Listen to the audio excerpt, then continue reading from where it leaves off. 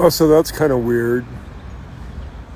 I can't even really see that because I have my phone propped up at the Magistrat, the 16th district office in Vienna, Austria, because they have a basketball court here.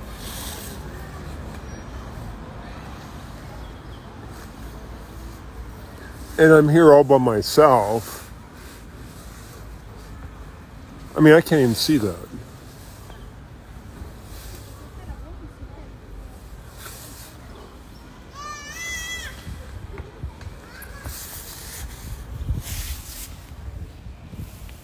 Oh, that's because it's pointing the wrong way.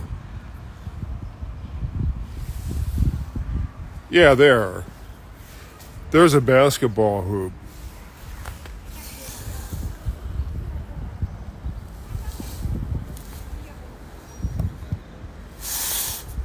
I mean, I can't see that either. But that's a basketball. Yeah, so that's this. Um, well, it's Serbish. Jokic. What's his name? Oh, this guy. Nikola Jokic. I mean, I've never seen him play because I don't watch TV anymore and I could go to YouTube and see him play. But he's famous in my neighborhood. There's a lot of Serbs there. And I bought this at a Serbian sports noodling shop, I think, because uh, they had it there. And I just went there today and got my basketball pumped up a little bit because it was the air had gone out a little bit over the winter time. And so now it's actually not bad. But I'm a shitty basketball player because I haven't played for years and I'm old. So I probably don't want to show myself shooting buckets quite yet.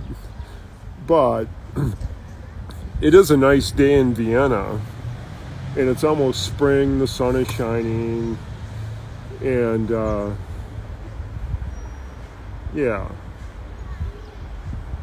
And if I play enough, I can probably take my jacket off because I have this jacket on, and underneath I got pajamas.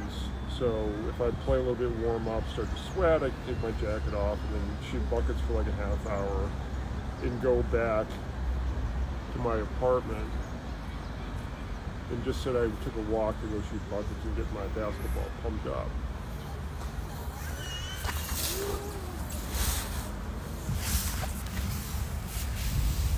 Now, I have no idea what that even looks like, so.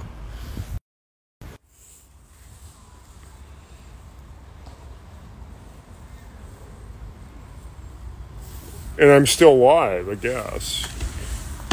Yeah.